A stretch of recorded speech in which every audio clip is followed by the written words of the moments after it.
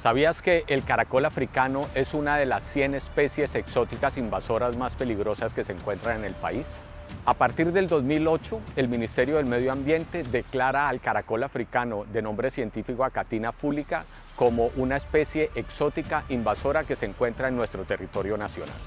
Se tiene entendido que el caracol africano hace su ingreso a nuestro país por la frontera con el Brasil. Inicialmente el destino de este caracol africano era ser utilizado para la preparación de cosméticos y en algunos casos para hacer algunas eh, artesanías con su concha.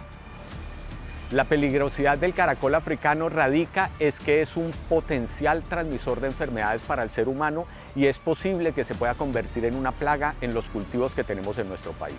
¿Sí? Porque los cultivos pueden tener caracol, pero solo cuando hay una explosión de caracoles que se considera la plaga para ese cultivo.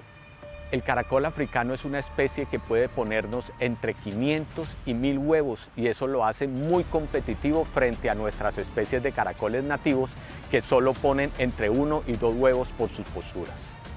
El caracol africano nos puede transmitir enfermedades a los seres humanos eh, que nos afectan nuestras vías digestivas y adicionalmente pueden eh, producirnos enfermedades eh, que nos pueden causar afectaciones cerebrales.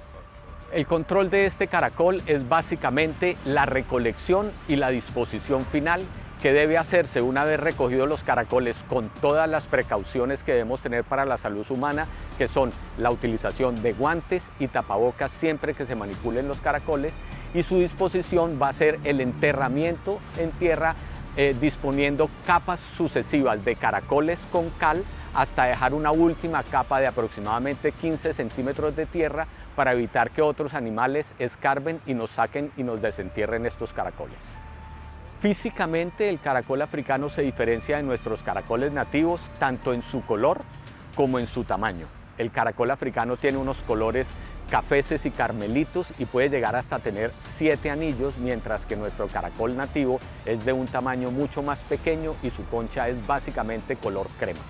El mensaje más importante que le queremos dar a la comunidad es que todos somos responsables del control del caracol africano, sobre todo en nuestro territorio, en nuestra casa, en nuestro predio o en nuestra finca, somos nosotros los responsables, tanto de hacer la recolección manual con todos los cuidados que debemos tener, como la disposición final con las recomendaciones que ya dimos anteriormente, que debe ser el enterramiento in situ de los caracoles cosechados y recolectados.